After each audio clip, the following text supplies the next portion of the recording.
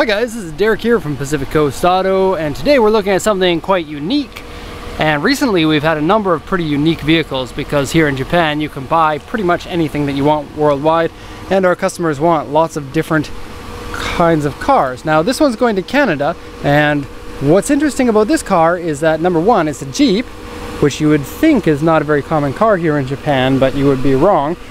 Japanese people here love their Jeeps and in particular love their Grand Cherokees.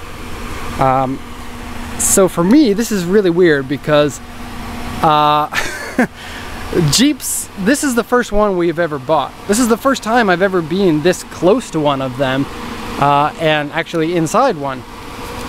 I'm going to tell you right now, I don't know almost anything about American cars in general, and especially about Jeeps. And so, pardon me for being a little bit of a doofus here. This is the video that you get to make fun of Derek and his limited knowledge of uh, anything American. And so we're going to go over the auction sheet, over the interior and the exterior as we typically do. I'm going to do my best to not sound like an idiot.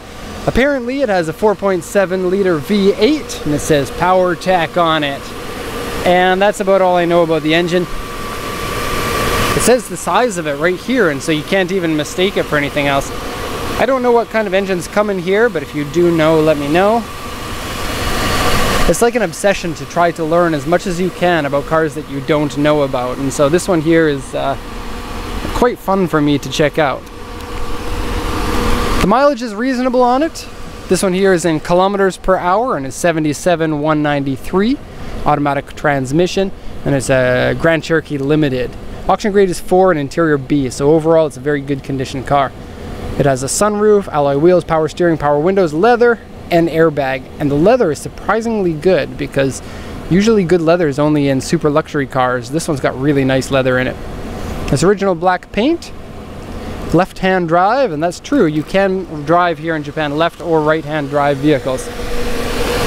And a lot of them came right from the dealer as left-hand drive. In fact, if you go to BMW back in the 90s, you could choose left or right-hand drive, whichever one that you liked.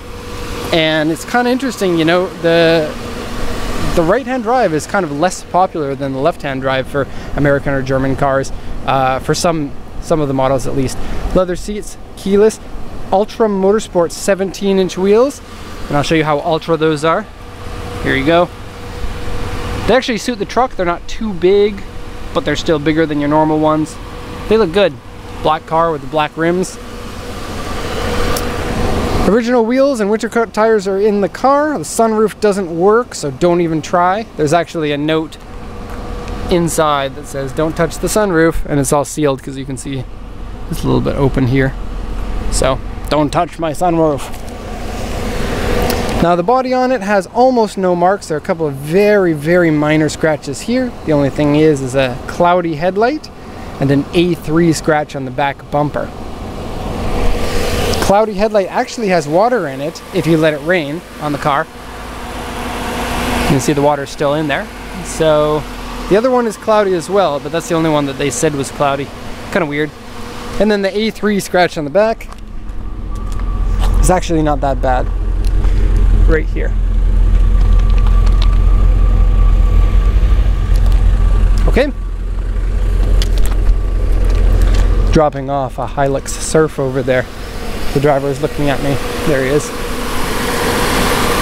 Okay, so engine seems to be in good running condition. There are no sounds, no smells, no signs of rust, oil leaks. Everything seems to be in tip-top shape.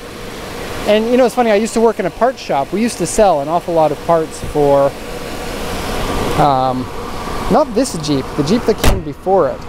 The 4 liter inline 6 was a popular part. So I always thought that they were unreliable. This one seems to be in great shape considering. Day. Uh, he wanted to know where to put that car. Paint seems to be in good condition, so not faded. Looks like it's been waxed regularly. No signs of uh, repaint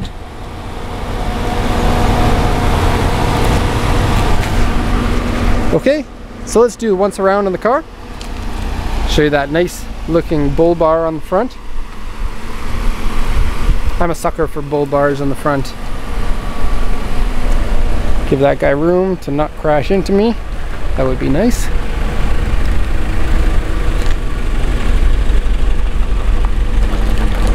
Okay, trailer hitch on the back.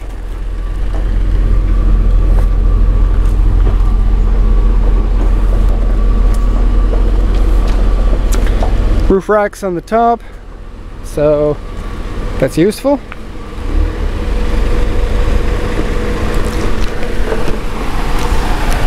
Now people might think that it's strange buying a car like this in order to send it back to a market that it's more popular in. Like these are pretty common in Canada or in the USA. And part of the reason why you would do that is because number one, the price can be good, but secondly, you could probably find better condition versions of them here than you can outside of the country.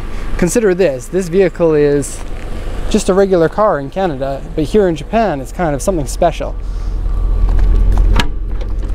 And because of that, the people who own them, they typically take better car care of their car than, you know, people who buy just your regular bread and butter car.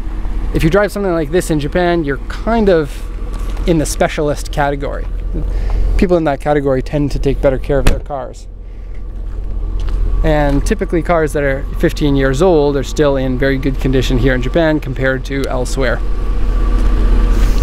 Okay, so inside the car, this is where it surprised me. It feels really nice in here, like much better than I thought. The leather is nice and soft. The switches are actually high quality. it's got heated seats, of course, power windows, power seats, and they all work, so that's good. The transmission is good.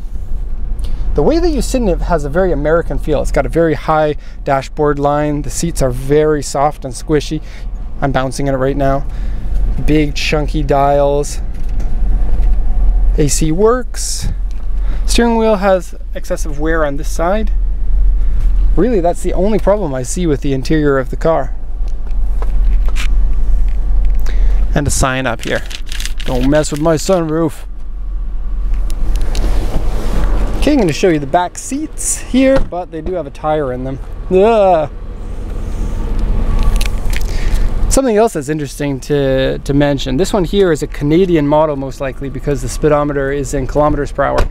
But if you find American models, you can import them into the States without them being 25 years old. The only thing is you need to have the NHTSA label in here. So there will be a label here that allows it to go to the States. And if it doesn't have that, then you can't import it memory seats here all power windows work nice looking sound system here actually the speakers were on when I came to sat, sit in the car and uh, it sounded really nice compared to what stock sound systems usually sound like just getting here oh soft seats give you more bass when you get your car okay smells like uh, these heated seats power outlet which is just another cigarette lighter. Yep. Cool. I like it. It's really fun. Uh, cruise control, I guess. Lots of brum brum because it's V8. No, I like this Jeep. Makes me kind of want one myself. Anyways, that's going to be the end of this video. Hope you enjoyed it. If you have any questions, post them in the comment section. Otherwise, thanks a lot for watching, and have a nice day.